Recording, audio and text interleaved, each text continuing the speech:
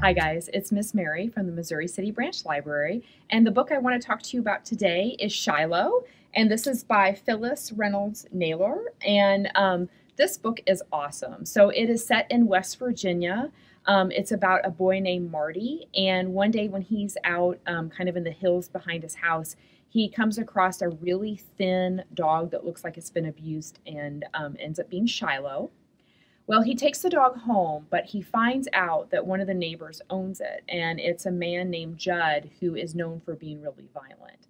So Marty decides that he is going to hide Shiloh, which he does out of the goodness of his heart, but it leads to him telling more and more and more lies. And it ends up um, actually causing a lot of trouble for Shiloh. So you'll need to read the book to find out. Um, there is a happy ending, but to find out how everything resolves itself. And then if you like this, there's actually four books in the series um, about Shiloh. So check it out.